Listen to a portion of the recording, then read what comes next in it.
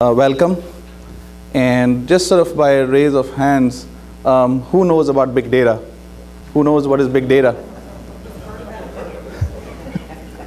a few brave souls. Uh, who knows a little bit about uh, agency oversight? Oh. Are you guys sure you're in the right room? well, uh, welcome. Good morning to you all. I'm GP. I've uh, worked in the oversight and transparency business, uh, having worked as a program manager on recovery.gov. Uh, very excited to uh, have you here and talk about how big data technologies are changing how organizations do oversight, financial management, drive innovation, look at different types of interesting uh, performance metrics. And I think um, one of the unique things we've done on this panel is brought you a tremendous amount of expertise um, and experience uh, of people that are just not talking about big data but actually are doing it. Uh, let me just quickly introduce uh, my panel. Uh, I have uh, Chairman uh, Earl Devaney, who was the founding chair of the Recovery Accountability and Transparency Board. probably does not need an introduction, has spent over 40 years in federal service. one of the interesting things about him is a big proponent of driving change using technology. Uh, next to him is uh, Honorable David Williams, the Inspector General with the U.S. Postal Service. Uh, for those of you that are interested in numbers, since this is a data-oriented track, uh, the United States Postal Service is a $65 billion revenue organization, and Mr. Williams leads a staff of about 1,000 plus people uh, trying to sort of uh, do oversight of this gigantic organization. Uh, next to him is Ms. Ho. Uh, Christina Ho is um, the Assistant Commissioner for Government-wide Accounting at the Department of the Treasury. She has some really interesting initiatives going on. Uh, one of them is usaspending.gov. Um, what's also interesting is they're starting to look at a lot of uh, initiatives from both the ground up and sort of legacy construct that they've received. So a lot of talk around data quality, and so you know, with big data, uh, big data quality doesn't go away. Um, and then next to her is we're delighted to have um, Mary Davis from GSA.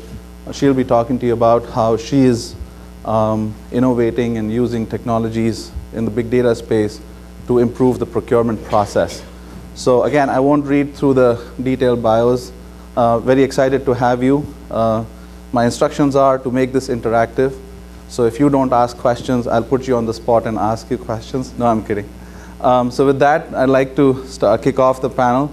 Uh, Mary, why don't you go ahead and give the audience a feel for uh, what's your take on big data and how you're innovating and uh, driving mission performance. Okay, thank you. Um, so I work for the Federal Acquisition Service and GSA, and about $56 billion of agency spend comes through FAS through a variety of our programs.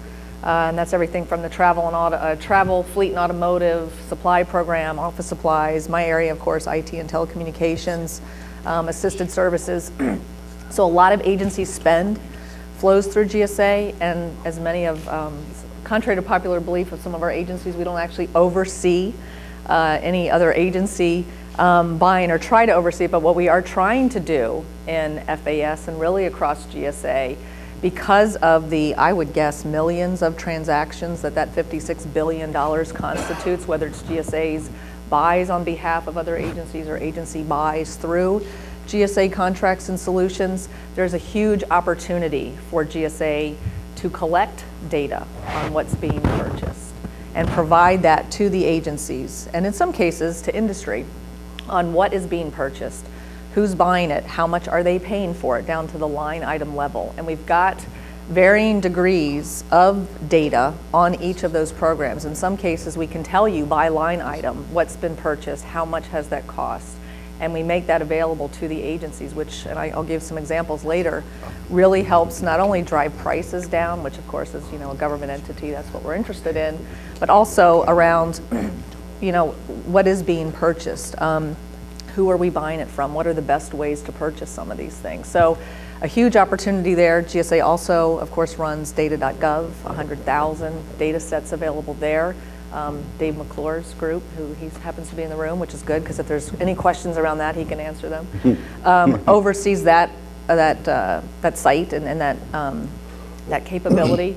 So, you know, just across GSA, we have and will have, there's really sort of a, um, a big uh, focus right now from Dan Tangherlini and Tom Sharpe on what GSA can do to turn ourselves into sort of this almost a selling entity where we make um, opportunities available for industry to sell to government into a buying entity. What can we do to make government a better buyer? What can we provide to agencies in terms of not just data and information, but solutions available to help government become a better buyer? So we're sort of flipping um, our focus and our model from a selling platform into a buying platform, and I'll talk more about that. Thanks, Mary, for sharing us, uh, with us that insight. Christina, do you want to talk about what you're doing at Bureau of the Fiscal Service around data, data standardization, big data, and all the other payment transparency? Sure. Um, currently, my organization is responsible for government-wide financial reporting. So we're responsible for publishing the daily treasury statement, monthly treasury statement, and the annual financial report. So if you're talking about data, we have lots of them. And, um, and that's one of the reasons early on, this um, towards the end of last year, we started thinking about what our vision would be for the organization, and data was really a big part of that. And but before I talk about what our vision is, I, would like to just read a quote from Thomas Jefferson back in the, um, 1802, and this actual quote probably has. Sorry. Do I need to repeat all that? um, this quote actually has been getting quite a lot of uh, popularity in the different transparency websites out there, including some of the state. Um, says we might hope to see the finances of the union as clear and intelligible as a merchant's books so that every member of Congress and every man of any kind in the union should be able to comprehend them, to investigate abuses, and consequently to control them. And this was back in 1802. And I would say that we're not anywhere near um, that. Um, this quote was uh, Thomas Jefferson uh, said this to his Secretary of Treasury at the time because um, Secretary Gallatin was the first person who really focused on documenting all the expenditures in a way so that people can understand them. Um, but I think from this quote, um, if you dissect it a little bit, that transparency is not a new concept, clearly. And the, the definition, the, what, what transparency about is not just about providing information, but providing meaningful information so that it could be used and understood. Um, so er, this morning I enjoy listening to to the presidential fellow, and many people mentioned open data. Uh, I was at an international conference recently with other countries to talk about financial management, and I spoke on uh, transparency. Um, open data was a global, clearly because of the G8 Summit Charter, Open Data Charter, there's a global trend on, on transparency. Every country's were, you know, most countries were struggling with that. Uh, I know multiple UK, Canada, they all have transparency initiative. Um, one of the open charter mentioned that all uh, country wanted to publish high value data and financial spending data is considered high value data. So um, coincidentally, the vision I mentioned earlier uh, toward the end of last year that as we think about from a financial reporting perspective and the data we had, we came up with a, a, a vision that we are very, very excited about. And, um, and our vision is about, I, I have to read it because um, it's a bit, um, I don't want to misquote it. So our vision, Treasury Vision, provide reliable, timely, and secure uh, intelligent data for the purpose of promoting transparency, facilitating better decision making, and improving operational efficiency. We, we want to provide not just data, but data with context, which means that would be meaningful information. You can have a lot of data and the whole big, data initiative, figuring out how to in, in, in, uh, do analytics. Our focus, at least right now, is about providing access to the data and not just, uh, and, and the government has a lot of data and how do we um, provide that access so that um, they can be consumed uh, whenever and ever, wherever uh, people would like. That's uh, what we're currently working on. And GP mentioned USA spending. We're also, um, Treasury as part of the um, President's budget passback um, is um, being asked to take over USA spending and we're working on that. We understand um, the data quality challenge.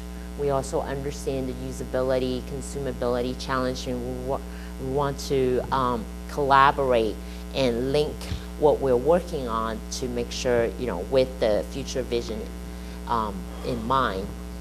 So that's what we're working on, and we can, you know, I'm well open to any questions.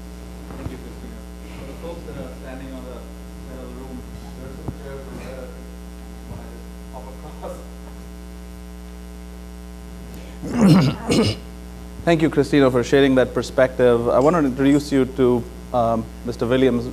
Uh, you've worked a lot on you know different uh, big data initiatives, and what I find interesting is, as part of the GATB activities, I think you're sort of driving some interesting, innovative uh, lessons learned. I think from the, the the experience in the last couple of years. Please do give us a perspective on you know some of the things that you're working on and how you sort of see big data driving your mission. Thanks, JP. We're pretty good candidates for big data. We have about a half a million employees at the Postal Service.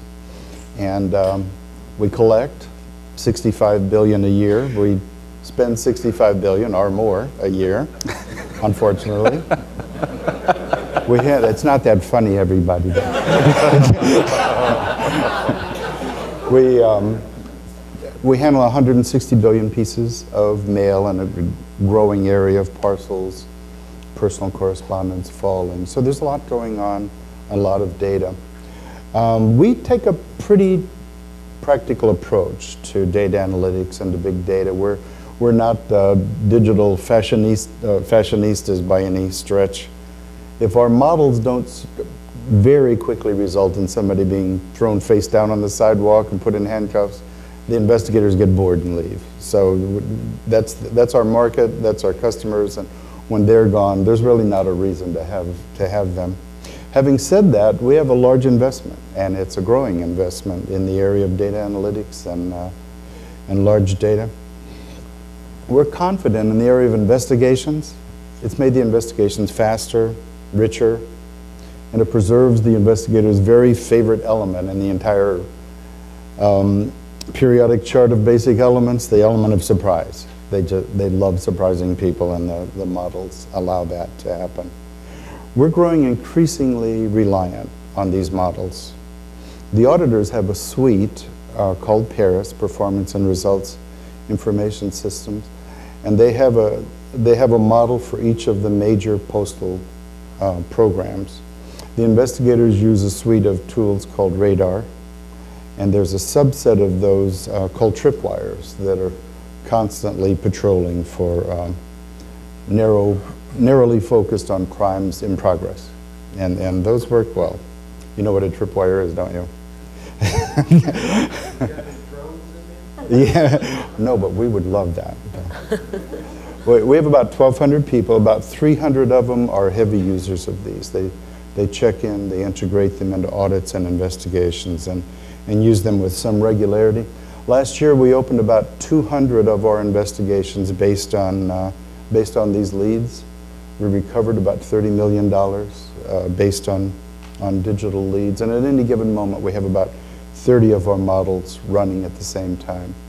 All the results are not financial. Some of them make audits richer or more compelling. Um, as I said, we have a Paris model for each of the large programs for um, uh, delivery, mail delivery, uh, the network processing plants, um, the post offices, uh, and, and all the others. Uh, across the top of the, the matrix of, uh, of Paris models, we have uh, the program's health science performance and customer service level, legal compliance, and the control environment. And then down the side, we have metrics, the metrics that have been set up for the programs, and goals. Sometimes you know exactly what an optimal performance is, and other times it's, it's relative to the other to the other elements of the organization, the other postal plants, the other regions. So they're sort of placed against each other. These models are looking for poor performance or for excellent performance. And um, they, they also allow, once you find poor performance, they allow for diagnostics so you can find out what it is that caused it and what a get well plan would look like. In the case of excellence, what caused the breakthrough to occur so that we can spread it across the organization. Um, Paris searches for excellence, radar searches for misconduct and, and hidden risks. So they're mirrored images of one another. The longer we work with these, the more we're beginning to suspect and begin to take on the idea of moving them into a single suite that produces uh, different user reports. And that, that's, that's one of the lessons learned so far that we, we believe we